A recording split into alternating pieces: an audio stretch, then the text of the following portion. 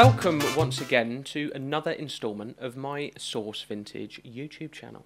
It's been a while, I'm sorry, but I've had so much going on. But I'm back, and this instalment is going to be all about the best places to find antiques and vintage in York.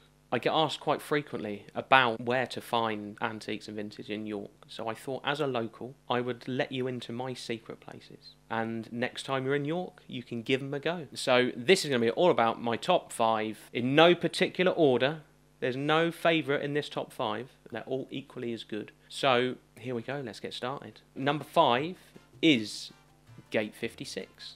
Gate 56 is a fairly new kid on the block, really. Quite a quirky little shop full of vintage antique homewares. Anything from giant 10 pin bowling pins to giant tennis rackets, traffic lights that you can put in your lounge, all sorts of quirky bits. So if you're looking for something, well, if you're looking for a one off, a complete one off for your house, then this is the place to head to. They also have a few smaller cabinets that have a few silvery bits in and sort of smaller items. So well worth a visit.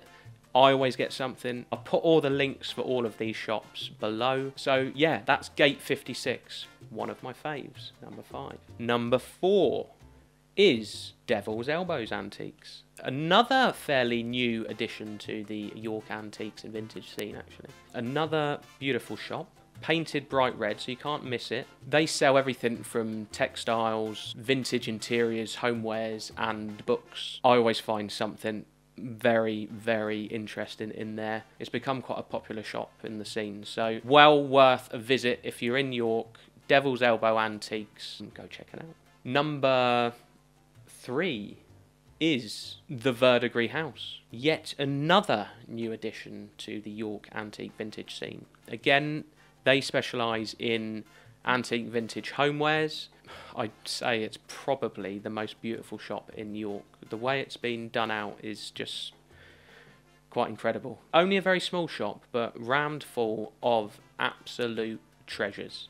It's that country house vibe, amazing stuff. He does different themes in the windows each month. You won't miss it. It's got a golden door, a beautiful shop rammed full of quality stuff. So well worth checking out if you're in York, and it's a cool area for independent cafes and restaurants. So make a day of it. Number two is the Red House Antique Centre.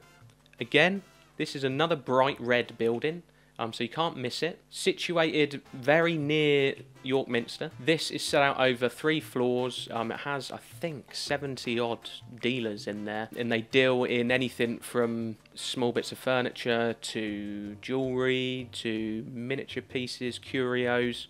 You name it, they've got it. Railwayana's another one. Yeah, I mean, it's, it's rammed full of, I think, some of the finest bits and pieces in York. I go there probably seven days a week. In fact, I'm surprised they're not charging me rent yet. Well worth a visit if you're in York. I always come away with something. And it's owned by popular TV personality Tim Hogarth, great guy. If you go there on a Tuesday, then you will meet the man himself, and he also buys a few bits and pieces. So, well worth checking out the Red House Antique Centre, right near the Minster you can that can in fact that can be your first stop on the way from the the train station. Number one, if you find yourself in York on a Saturday morning, and I'm talking from about half six, seven o'clock in the morning, head up to York Racecourse because they have probably no, in fact, I'm gonna I'm gonna stick my neck out here and say they have the best car boot sale in the country. It's a mixture of your regular sellers just trying to get rid of stuff to antique dealers. So it's like a car boot sale slash antique fair. It is quite incredible. I always come away with bits and pieces. You never know what you're going to find. Some days, depending on the weather, it can be small.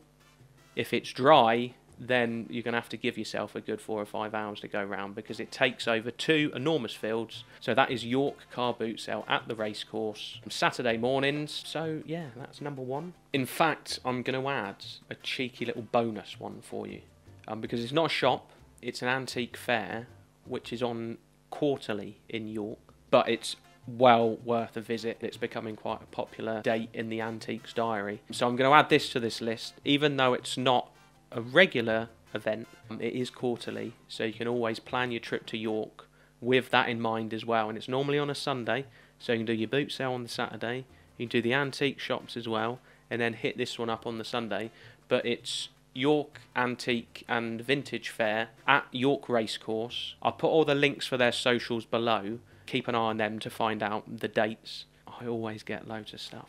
And that is my top five places to check out for antique and vintage buying in York. So plan your trip around those. Make a day of it. Make a weekend of it. Thanks for watching. I hope you've enjoyed this video. Um, this little insight from a York resident into the scene. If you enjoy my videos, please hit the subscribe button. If you've already subscribed, thank you so much for your support. I really appreciate it. And I also write a blog on Mondays, every Monday, over on my website, www.source-vintage.co.uk. I'll put all the links again below. I write about interesting finds, places I've visited, the antiques trade in general. I have the odd interview with uh, a celebrity antique dealer. So if that's your cup of tea, then go check that out as well. And whilst you're at my website, you will see that I also have my own shop where I sell some interesting little pieces. So, whilst you're there, go check it out. You might find something that you like. And yeah, hit me up on the socials as well Instagram, Facebook. Thanks for watching. And until next time, stay safe, keep buying those antiques, and keep spreading that Source Vintage love.